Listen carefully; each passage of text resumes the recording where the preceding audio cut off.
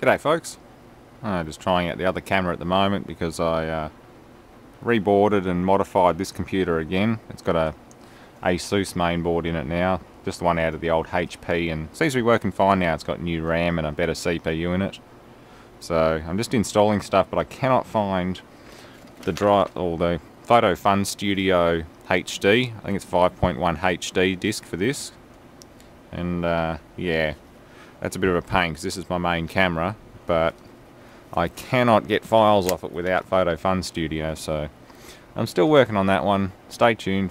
Um, yeah, good stuff's coming. I just got to find a uh, oh, maybe a download or something like that. It's not on Panasonic's website or anything like that. I'm going to have to go illegitimate or find another program that can. I'm going to also install Sony Vegas on this. This system's now running a Core 2 Duo um, E6400 I think it is. It's 6200 or 6400 processor. And it's a lot faster. 4 gig of RAM as, as the last one did. And uh, yeah. It's a good working PC again because it was getting horribly slow and just crashing out again last time. I mean I think I was overloading it. The programs and things I had running at the time was a bit much for the poor old Pentium D to handle. So that's all done uh, bits on the day we will come once I can do more video and empty the trailer of scrap metal.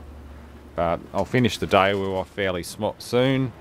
Um, yeah, got some other goodies and things. Well, that's the old HP that I butchered. And that's one of the IBMs I pulled the optical drive out of. But I found these at the scrapyard today. They're like from a um, internet kiosk terminal, splash-proof and vandal-proof keyboard with a um, trackball mouse. So there's two of them there. I'll find something to use them on. The manufacturer. Yeah, Storm's 2200 series keyboard and there's a little trackball module there. They're fairly rough and gritty so the trackballs need a bit of attention but they do work. I want to turn one into a um, mobile workstation with this PC and uh, have it out here so I can do live streams. I mean, I've got enough Ethernet cable and stuff hanging down from the roof now. I could sit it over there somewhere and do a live live autopsy or something like that on a piece of hardware. But at the moment, it's just a matter of getting time to clean up. I mean, I worked all day today. I'm going to be working all day on Friday, making up money that I borrowed a little bit off my mum and went out and bought a car that I've wanted since I was a little kid. So that's coming soon. Little white car's going to have another friend for a while.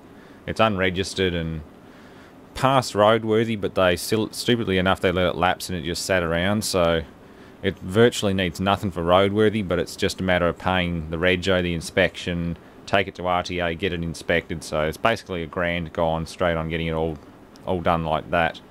But there's very little needed for roadworthy on it, so you'll find out when it arrives.